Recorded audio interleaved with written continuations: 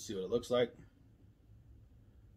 Got a crab roll, soy sauce packets, sashimi, tuna, salmon, and eel, wasabi, ginger, soy sauce packets.